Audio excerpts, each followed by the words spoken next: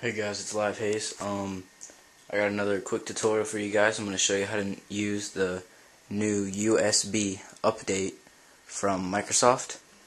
Um, before the update, you had to use something called a transfer cable to transfer stuff from your bigger or from your smaller hard drive to your bigger hard drive, and it looks something like this.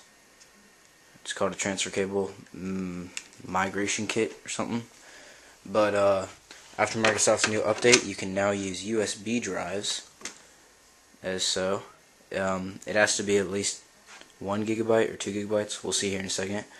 But to use this is very easy. It's actually faster than the transfer cable in my opinion.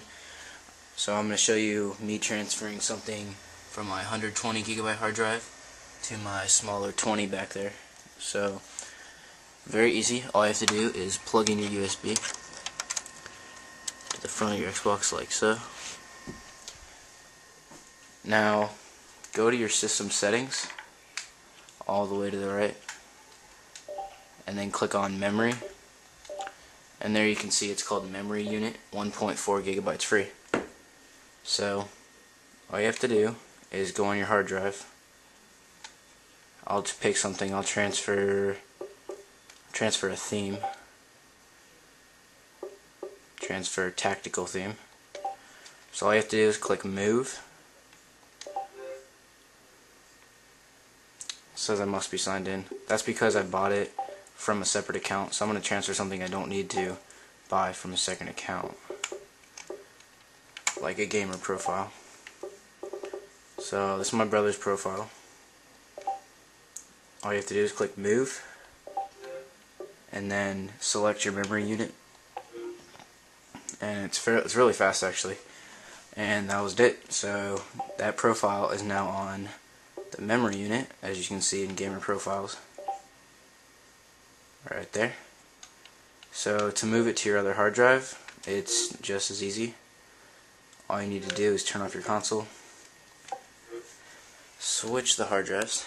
One second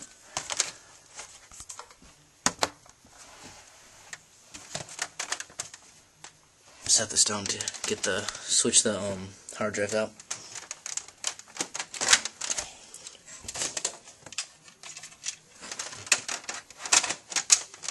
Alright. Put the 20 gigabyte hard drive on. The gray one, as you can see, the black one's right here. And the memory unit is still in. It can be in when you start it up, or you can put it in after you boot it up, doesn't really matter. There is nothing on this hard drive currently. So pretty much the same process to move it onto the hard drive. Let me turn on my controller. Go to System Settings, Memory, and then click on that memory unit that you had from the last one. Go to Gamer Profiles or whatever you transferred. You can also transfer in group. I'll show you how to do that in a second but you just move this and you would click on your hard drive to move it. I am not going to move it because I want it on my other hard drive but it'll look the same so that's how you do that. If you want to transfer all the stuff that's on this you just press Y from this screen and you just click where you wanted to transfer it to so you click hard drive and it'll transfer all the files that are currently on your USB. Same with hard drive to USB. Either way you can transfer all your content. So that is how you use the USB instead of the migration kit that you usually have to buy from Xbox. Um, you can also use this USB to expand your memory by how much is on the USB. So right now mine is 2 gigabytes. So I could put game saves or whatever on it. As long as it's in when I play, those game saves will act like it's on the hard drive. So it's pretty much expanding your memory. So I hope this tutorial helped you. Uh, please subscribe for more tutorials coming up. And I'll see you guys later.